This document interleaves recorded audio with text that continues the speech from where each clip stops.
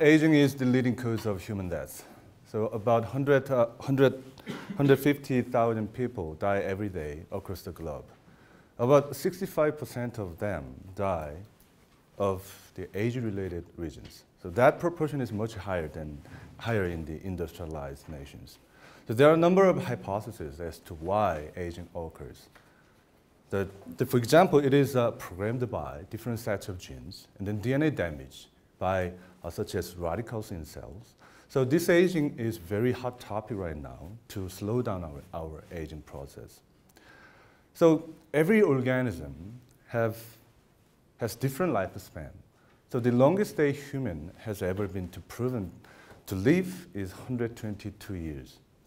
So the case of uh, Jeanne Calment.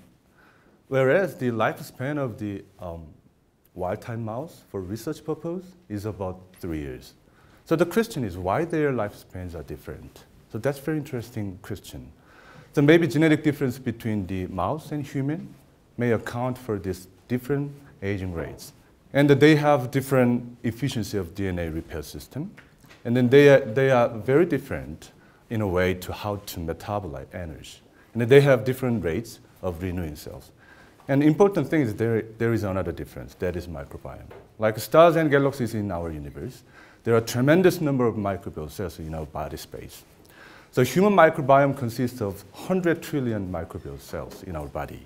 Those microbial cells are very important for our health. These are the uh, different patterns, microbial patterns in different human organs. And then they have uh, very different functions in our body. And then they are really closely related with the human disease.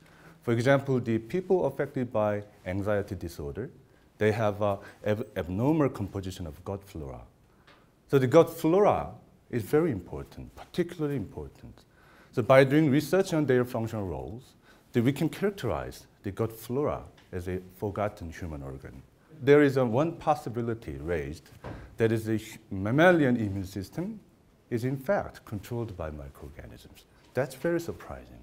The question that we have the whether those microbiome patterns is changing according to the aging process. So my lab analyzed different microbiome patterns is according to aging process. So indeed, microbiome patterns of mouse is changing according to aging process.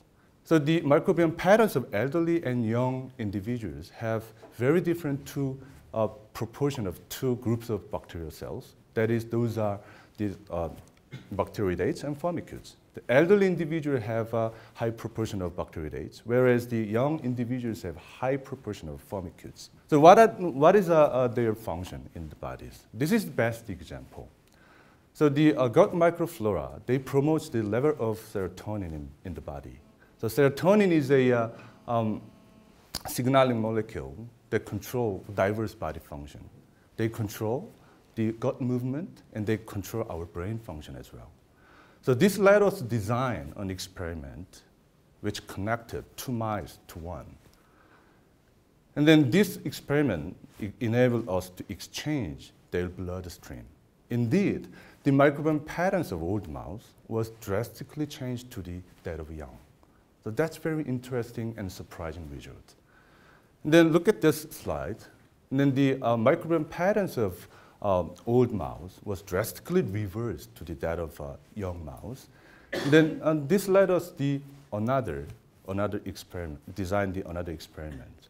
So we thought there's something in the blood, whether that is produced by microbiome cells or not, that controls the microbiome patterns. So we really wanted to find what are those. So this is our another experimental design. So we injected the blood plasma of young mouse to the old mouse. then we observed identical result that we observed from the parabiosis experiment. So that was really interesting. So this, uh, uh, this uh, something in the blood can control the, the microbiome patterns. And then if we can reverse the microbiome, gut microflora from old to young, that means we can reverse our aging process. So taken together, the microbial cells can affect our body functions. And even they can reverse our aging process. They control our brain functions. They control our metabolic functions. And even they can control the, our aging process. That's very interesting. So here I have a question. Is it really possible to re reverse our aging process by controlling gut microbiomes? If so, what are the consequences from that rejuvenation?